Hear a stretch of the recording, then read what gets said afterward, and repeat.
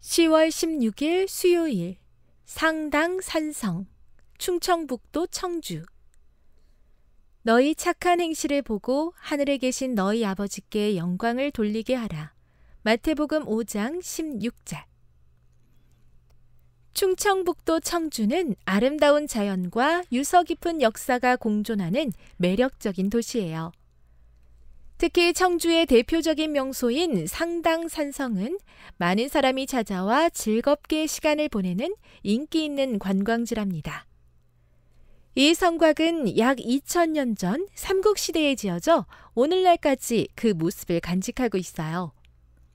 상당 산성은 청주 시내 한가운데 우뚝 솟아 청주 시내 대부분에서 볼 수 있어요. 그곳에 오르면 높은 성벽과 탁 트인 전망으로 마치 시간을 거슬러 올라간 듯한 느낌을 줍니다.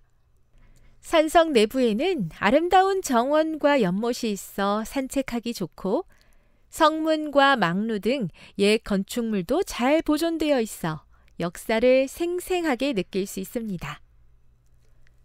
청주에는 상단산성 외에도 볼거리와 즐길거리가 가득해요.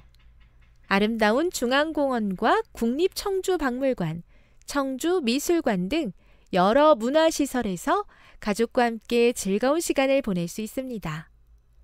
또 청주 시내 곳곳에는 맛있는 음식을 파는 유명한 맛집이 많답니다. 청주 어디서든 볼 수 있는 상당 산성처럼 예수님을 믿는 우리를 사람들은 늘 바라보고 있답니다.